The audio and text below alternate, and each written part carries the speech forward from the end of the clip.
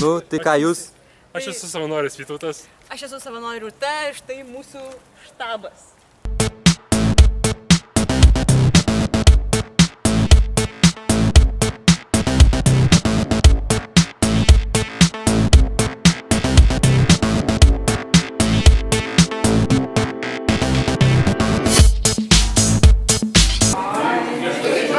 Kauno savanoriai priimti visus atvykstančius į jaunimo dienas.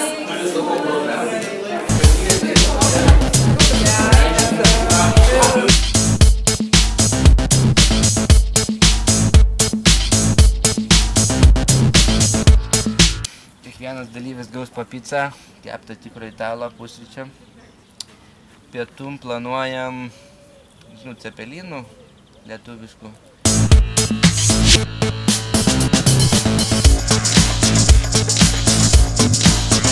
O bus ką nors užgerti, atsigerti?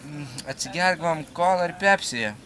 Šiaip kas nenorės, tai šviežių morkų, sulčių arba apelsinų. Nežinau, dabar skina savanoriai apelsinus e, Brazilijoje, to turėtų parvežti.